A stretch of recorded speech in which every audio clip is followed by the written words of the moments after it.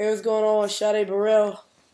Uh, I just got done from doing a speaking event with Eric Thomas and the SWAG Students with Academic Game in San Diego at San Diego State University. Man, I just really wanted to record this because I lost my voice over this. It's it's almost ten o'clock at night. I have my last my last final due in like a few hours, so I gotta. It doesn't stop here for me yeah, I just get off stage with ET and I worked real hard and but that don't matter because I have to go and finish out my final so I can complete my masters.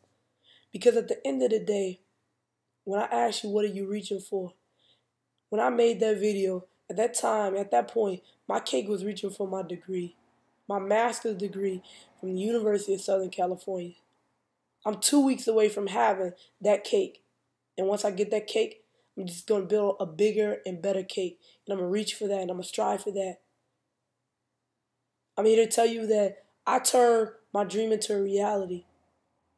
I used my positive thinking. I was a, I wasn't a victim of any circumstances. I was victorious of everything. So because of that, I got the opportunity to share the stage with Eric Thomas, to see him up close and uh, personal, to be able to, to talk to him and hang with him, meet his family. He has a lovely family, absolutely lovely family. So now I don't have my voice. Getting ready to finish up my final.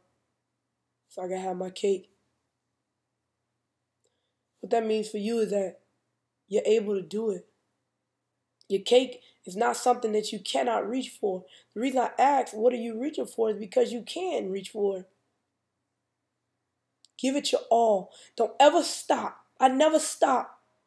A year after making that video, I'm now sitting with ET. I didn't give up. Kept reaching.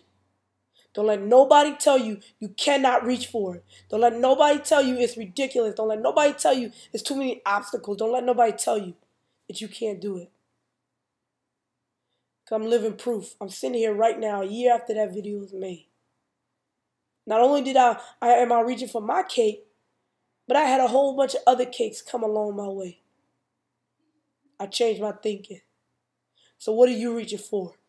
Sade Burrell, stand for something.